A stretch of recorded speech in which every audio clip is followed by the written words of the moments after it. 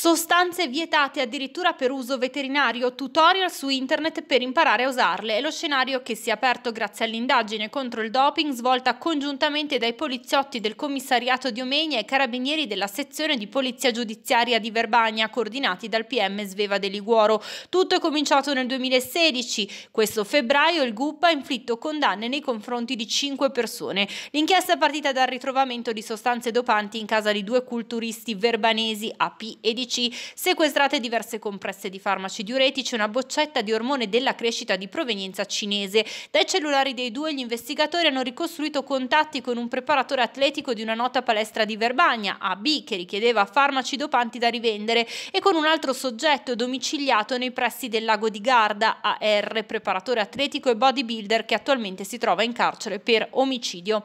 È emerso che alcuni degli indagati realizzavano dei video tutorial diffusi in internet per mostrare come usare usare le sostanze incuranti dei pericoli per la salute.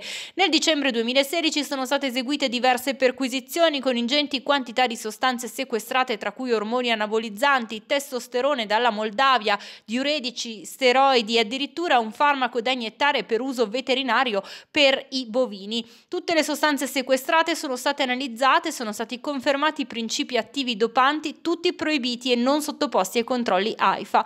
Le ulteriori indagini hanno portato a identificare denunciare anche un'altra persona, LFDL, culturista verbanese, come spacciatore di sostanze dopanti. Tutti gli indagati sono stati condannati dal GUP Elena Ceriotti con rito abbreviato per utilizzo somministrazione di farmaci o di altre sostanze al fine di alterare le prestazioni agonistiche degli atleti. Le pene vanno da 11 mesi a un anno e mezzo di reclusione e 4.400 euro di multa.